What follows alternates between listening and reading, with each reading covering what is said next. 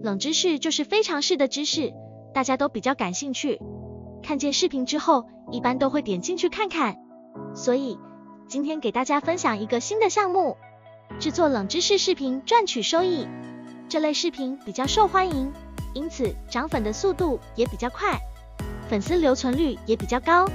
而且这类视频制作起来也比较简单，非常适合小白新手操作。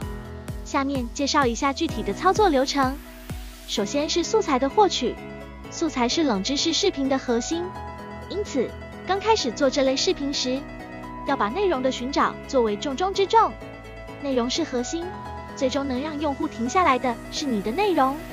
找内容之前，你首先要确定具体做哪一领域，是生活的冷知识。还是百科地理领域的冷知识，找内容的方法也比较多。这里给大家介绍两种方法。第一种方法就是直接在网上搜索，在网上也有很多冷知识网站，里面有很多热门的冷知识素材，非常方便。第二个方法就是关注同行。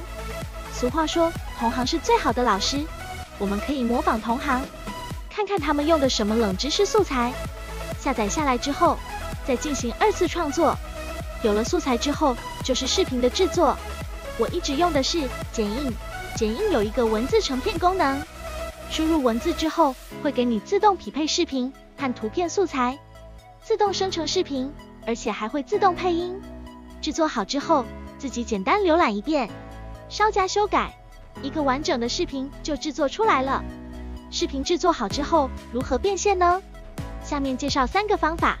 第一，可以参与中视频计划，这类视频播放量都比较高，相对来说收益也比较高。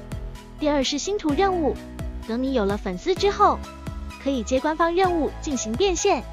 第三就是收图，等你拿到结果之后，自然有人花钱想跟你学，有些人光收图，一个月就可以有几万的收入。这个冷知识赛道门槛低，操作简单。希望大家在做的过程中不断总结、优化，寻找自己的特点和亮点，吸引更多的用户。